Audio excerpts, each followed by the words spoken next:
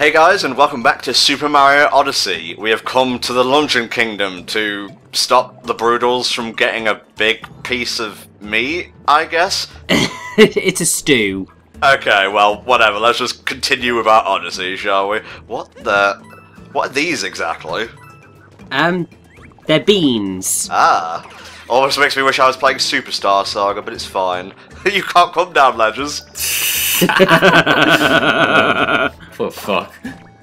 Yeah, but the Luncheon Kingdom, this is actually quite a big kingdom. There is a lot of stuff to do here, so we may be here for a little while, but you know, there's a lot of like secrets around as well, like even more so than a lot of the other kingdoms, so maybe keep your eye out. Interesting. Oh, definitely. I mean, obviously we've gone through the whole thing of the size of the kingdoms, and yeah, Luncheon Kingdom definitely sits in with being one of the larger kingdoms, and this is definitely quite big because even though you've got a pretty linear route through, it's going to take you all over the place. Huh. I gotta say, when um, I first saw the Luncheon Kingdom in like the initial trailers, this is one of the kingdoms that popped for me the most because uh, it it kind of clashed. I have to say because it's all like polygonal and multicolored, and you put it next to like the Metro Kingdom, it's especially prevalent how different it is. Oh yeah, this guy. I remember this guy. Yeah. Yeah, it's him.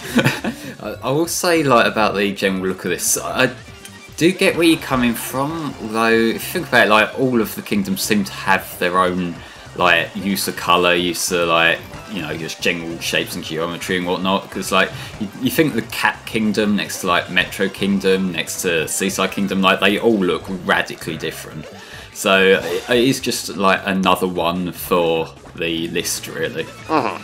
Although saying that, this is a little bit on the loud side for my liking in terms of like the color and whatnot. So oh yeah, yeah, yeah that is just one of the criticisms that I tend to have with levels in general like this. You know, I like things to be a little bit more tame rather than very bright and loud. I, I was expecting more from that fight for some reason. I don't know.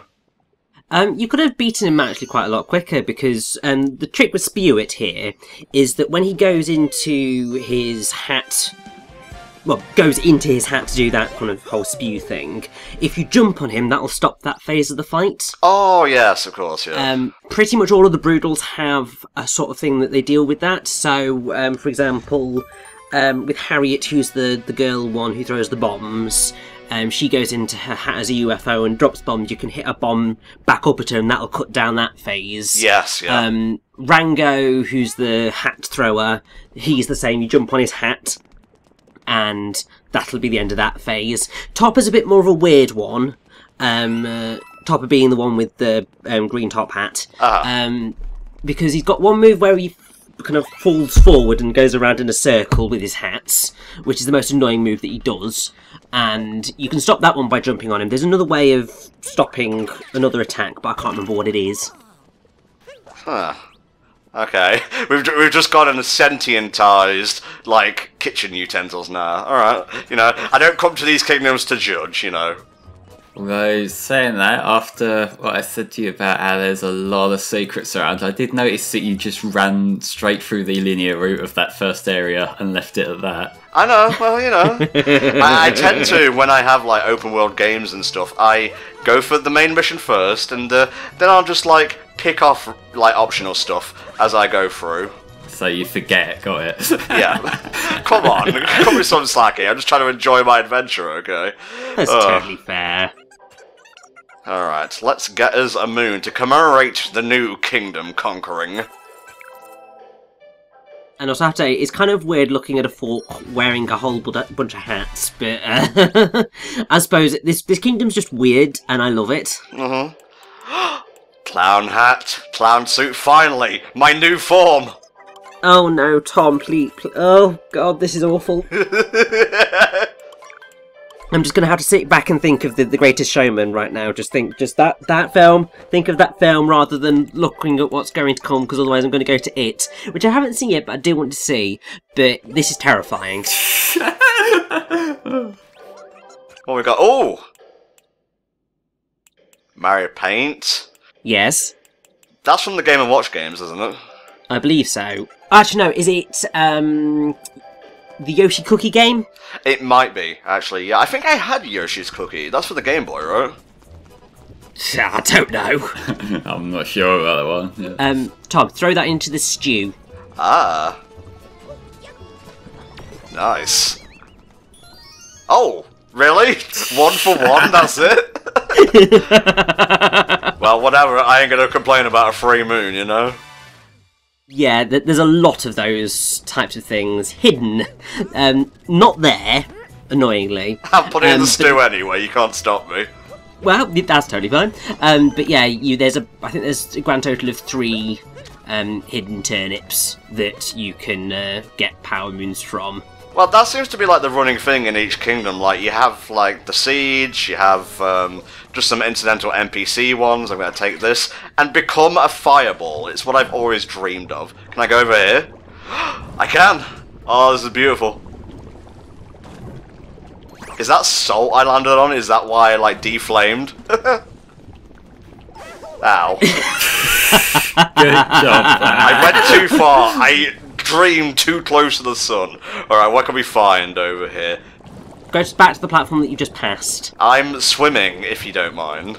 Well, that's fine. You said you said what can we find here? I was just pointing one out. I found some purple pumpkins, if you don't mind. Well, that's also good. Uh, I, I, I actually love the uh, the high colours here, Flame. I'm sorry if you're not enough of a man to take all of this colour, but you know.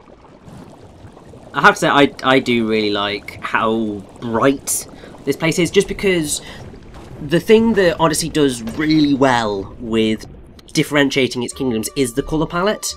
So you get the ones that are much more muted in their colour, like um, Metro City and uh, so on, and then you get the ones that are more realistic in style, the ones that are more creative in style, and it's just kind of following through with all that. Oh, this is very interesting. Oh yeah, this is quite fun.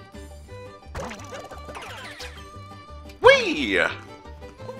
And don't forget, there's always two moons in an area like this. Yes, always two there are. Hmm. Hmm. I, I see you over there. over here. Nice. Just rewards me for exploring, I love it. I know. Also, I really do love using the forks to flick Uh-huh. because it's it's just one of those things that's just really simple but really satisfying to do. It's intuitive, is what it is, and that's why it feels good. Especially like in that platforming section on the way up where it's got like the thing that fires your cap around the corners and whatnot and then you can just like, you know, reach the ones around the other side there as well. It's like just it works so well. Now, is that the thing you were talking about, Rich, when you told me to go back to the platform? Um, to your left, Uh huh. it, it's that sort of one salt pile in the middle of the two. Well, the salt, big salt pile with that one, and the salt pile with the thing Ah. on, and the one with the rock. Because yeah, there's a glowy and there's a power moon. I'm a big silly. Island of salt floating in the lava. That's me. Just a big old pile of, like, sodium ready to explode at any given time. Also us when you miss an obvious moon. yeah, well, no one really cares about your feelings, so. Is this a post game thing? Yes, that's a post game thing. Well, uh, it might please some of you to know we are going to do a sizable chunk of the post game, at least two sessions worth, so uh, that's about 18 videos, I would suppose. Well, we'll we'll just have to see how many moons we can get. Hmm, yes. I kind of want that chef's hat now, I'm going to be honest. Well, you'll just have to get up to I think it was about 15 purple coins that you need to get the chef's outfit. So uh, should be pretty simple. Roughly about 28 more if I want uh, the entire ensemble, and I do. Gotta look your absolute best, of course. Mm-hmm. I'm just gonna swim around for a bit. There seems to be a lot to uh, find with the little fireball here. Oh, definitely. And also that swimming sound effect is oddly satisfying and relaxing. It is, yeah. It's like swimming through angel delight, as it were. Aw, can I not swim up these things like a Zora? No, you can't use waterfall, unfortunately. What a shame. Yeah, you need your HMO 8 for that. We don't do HMs anymore, okay? Uh, well, you say that, but I still think, you know, the old gym battle system was better than that fucking island challenge thing they got now, but you know. I, I disagree, Flame. Debatable. Well, you're wrong. You're wrong, you stupid poopy head. I, I- I'd say that you're the one who's probably wrong, Flame, just because it's the fre- well, it was the freshest that Pokemon felt. It's just the issue that Sun and Moon and Ultra Sun and Ultra Moon both have is that they were a little bit sluggish to get going. Once they got going, it was really brilliantly fresh. Um, it was just kind of those first few hours which were really slow. Mhm. Alright, let's have a little exploratorium around it. Ooh. Ah. it's time to do the thing again, where I win all at once.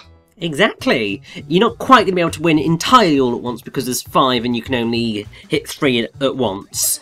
But it's still easier than it initially makes itself out to be. Uh-huh. Oh, this one's a bit faster this time. It's exactly the same. Good enough. So you, yeah, you just got to make sure that you hit those ones and you, you're all good. Oh yeah, give me that fucking power moon, baby! Playing the slots in a Luncheon Kingdom feels weird. It's like casino meets cooking. Though, if you look at like the placement of the casino, like he probably doesn't get that much business there. It doesn't seem like the best fucking marketing and approach and whatnot to hide your business behind a big pile of shit. Yeah. Well, a big pile of cooking materials. Anyway, I don't know, guys. I love how this kingdom looks. well, I will say I probably do have a little bit against this, like maybe undue like bias against it in that I've never really been that big on like food areas in general. It's like one of my least favourite level tropes. Because like, I think the things like Sweet Mountain and whatnot, and it just really doesn't appeal to me. Huh. I could have sworn I would have gotten a moon for that. Oh well. Think in the post game there might be a moon in that location, um, but not that one. There is, however, a moon in this location. Can you find it? Gee, I wonder where it is. I need help. I can't find it. Oh, it went to the heavens. It's gone now. Oh!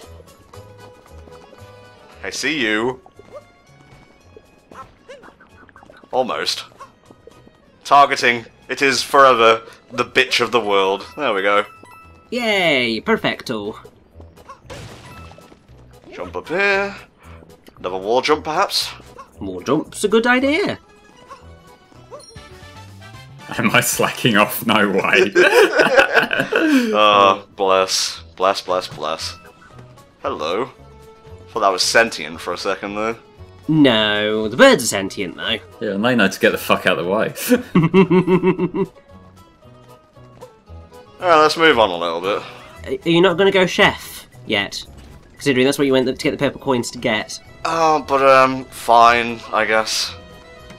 Basically, Richie wants you to get rid of the clown suit as soon as possible. I mean, basically, yes. I mean, I know that there's never enough clowns, but uh, yeah, please p- kill it with fire.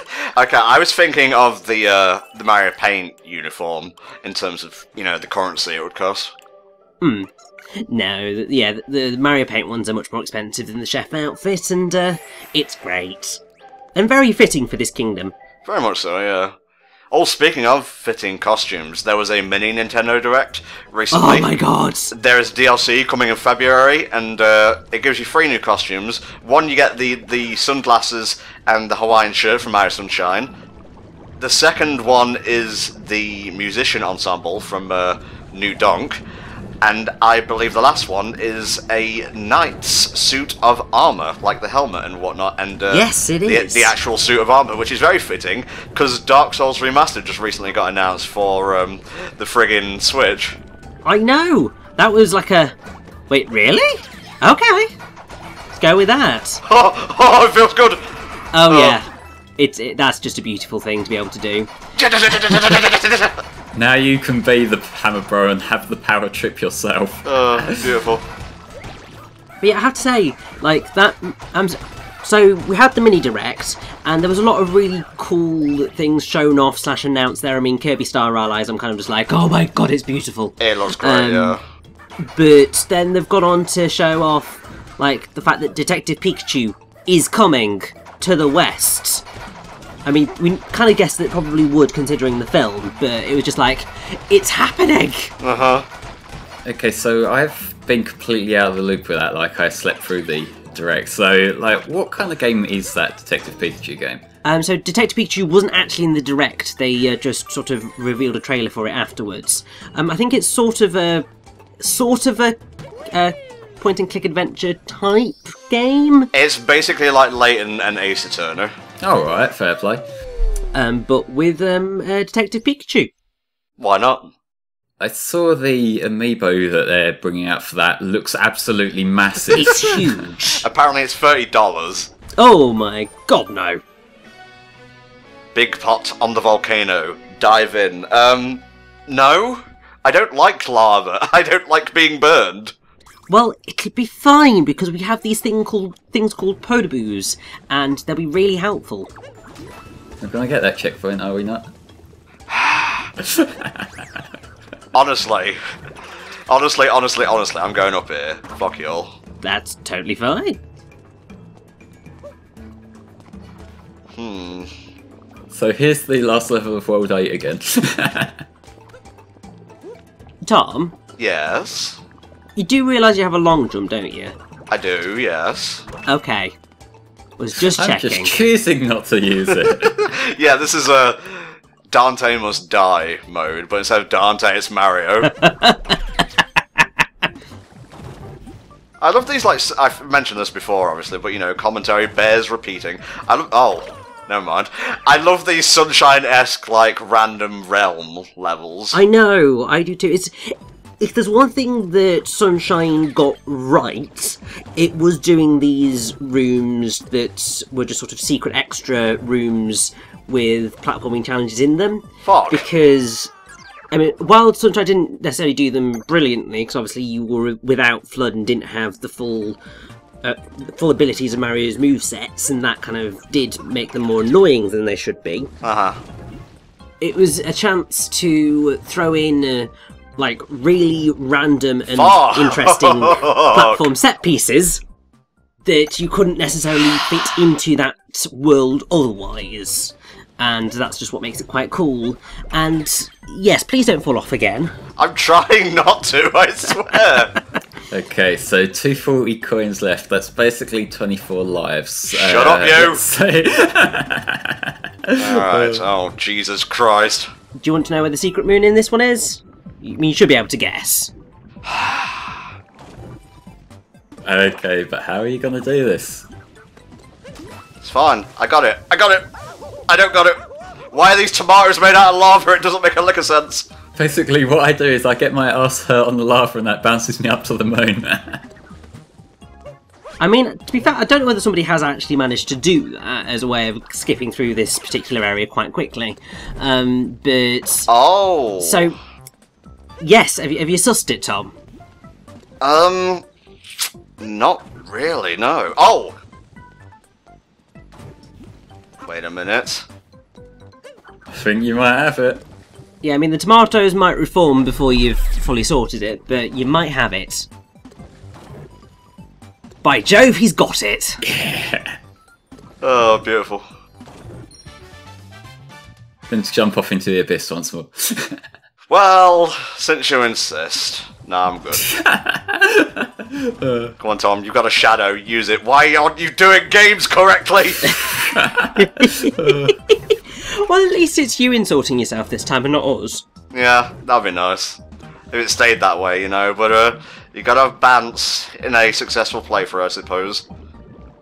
Uh, now, this can be quite a fiddly bit, especially if you go in for them purple coins, just because of how like tight the corners are and whatnot. uh, Like, we're still going to take the piss if you fall off, but you know. But yeah, this is a slowly but surely does it sequence. there you go. I might actually be able to get some souvenirs after this. You know, retail Yeah. retail therapy does help me recover after falling into the same pit four times in a row. Not going to get them coins. You can just consume penis, my friend.